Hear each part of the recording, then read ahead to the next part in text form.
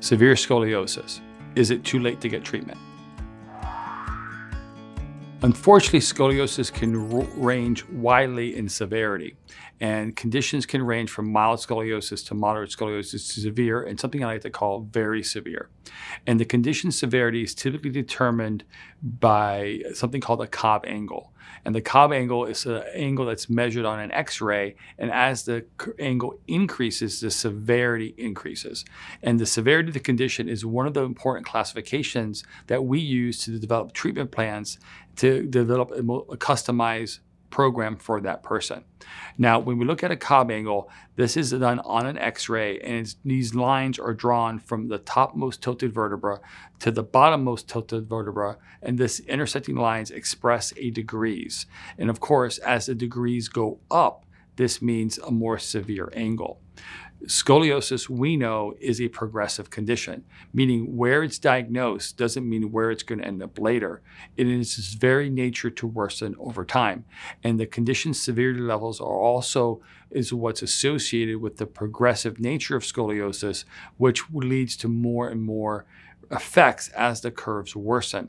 So mild scoliosis cases can progress to severe scoliosis cases, and this is especially true if it's left untreated, and especially true during very specific times in a person's life. And the most risky times are when patients are growing and developing, and when patients are in a later stage of life, post 50 or 60 years of age. During these times is when we see curve progression to be the most risky and also the most accelerated.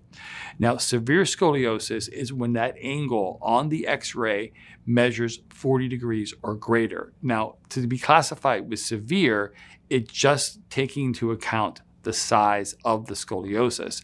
It doesn't need to take, take account anything else. But we consider that more as the curves become bigger, they're more likely to cause more problems, especially if these curves are progressing in the adult form. Now, in children, the typically the, the main effect that we tend to see is postural deviation. At 40 degrees, we're going to see significant postural deviation relative to somebody who's at 30 or somebody who's at 20 degrees. In fact, what I like to say is that the postural effect tends to double every 10 degrees. So 10 degree curvatures are very hardly noticeable. 20 degree curvatures will look twice as bad as 10, but again, not very significant. 30 degrees will be twice, it looks twice as bad as uh, a 20, but four times as bad as a 10 degrees. And so on with a four degree curve, it look twice as bad as a 30, four times as bad as a 20, and then like eight times as bad as a 10 degree curvature. So this tends to exponentially look worse. So when you don't see this linear progression effect in scoliosis, it's an exponential. The same thing true is in the progression in the adult form. As curve, curves progress in the adult form, as they progress, it's exponentially more likely to cause pain. So if you have a 30 degree curve and you progress from 30 to 35, you may not experience that much. But you progress from 35 to 38, that three degrees may start causing pain. And then from 38 to 42, it may cause a lot more pain because it exponentially causes problems as these curves progress in the adult form as a result of compression. So in children, the number one effect we see is postural deviation. In adult forms, the number one thing we tend to feel is progression. In addition, as curves become severe, the likelihood of progression increases. So if a patient is growing and they're already in the severe stage, they're more likely to progress every single time they grow. In the adult stage, we know the bigger the curve, the more likely it is to progress as a result of gravity. So in the adult form, we say an average 50 degree curve progresses about one degree a year in middle adult life. The bigger the curve, an 80 degree curve will progress faster than a 50. A 30 degree curve will progress less than a 50. But average, we say one degree a year. So when should we consider treatment? Well, obviously, since we know scoliosis is progressive and we know more than likely it's going to worsen over time, we always recommend treatment as soon as possible. As soon as you find the scoliosis, we recommend treating it because the more likely you are to get a positive result. There's never a, ever can be treatment guarantees, like 100% results any given time. But we do know as curves get bigger, they're more complex and they're more difficult to treat. And the smaller they are, the easier they are to treat and the more likely they are to deliver a result. Now, unfortunately, that my average patient I see is a severe scoliosis.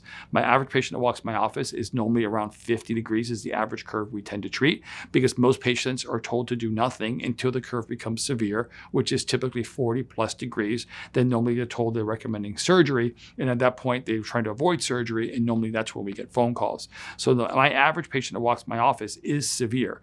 The majority, the minority of cases I treat are mild or moderate because most patients do exactly what their orthopedic surgeon tells them to do. The curve worsens to a point where they're told they need surgery and then they're looking for options.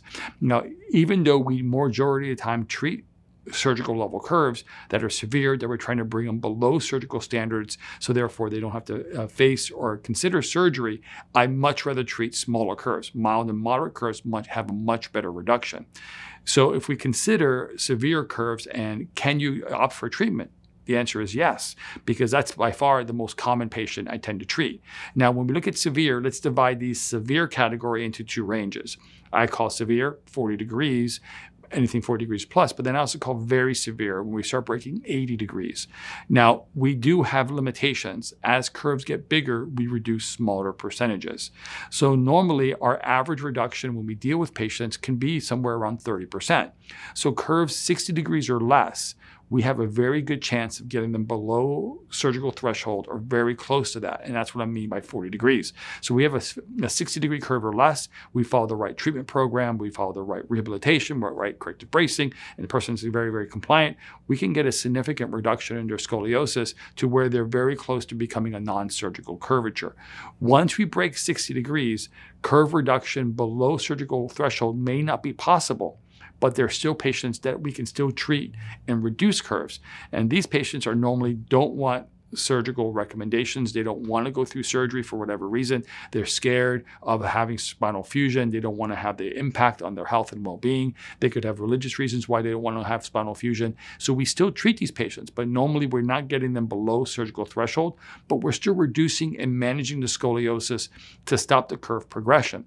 Many times adult patients won't can't qualify for surgical fusion because the patient, the surgeons don't think they're going to heal and recover well and they could have a severe scoliosis 70 80 90 degrees well we're not going to let the patients do anything because if they, do, if they don't do anything the curve will continue to worsen so we still treat these patients even though we know we can't get them below surgical threshold but since they can't have surgery as an option because the likelihood of them recovering properly we still treat them conservatively and still manage and reduce their curves and more likely try to stop their progression. So here at Scoliosis Reduction Center, we are definitely proactive by treating scoliosis as soon to diagnosing it. However, unfortunately, the majority of patients I treat are surgical because most most traditional options are negating the need for treatment when curves are small, let them worsen, and now they're told they need surgery. But how even when curves hit this severe standard when they're considered a surgical treatment option, we still integrate and customize treatment plans to get reductions. And even at that time, the closer we treat you to that surgical recommendation, the better result we're going to get. So if you have a 45 or 50 degree curve and you've just been told you need surgery, letting it worsen to 70 or 80 isn't going to produce a better result. We still recommend treating it as soon as possible to get the best possible reduction. Thanks for watching. I hope you found this information helpful. If you'd like to hear about other topics and information on scoliosis, type in the comments below and let us know. And finally, subscribe and hit the bell icon to be notified of when we publish content. Thanks.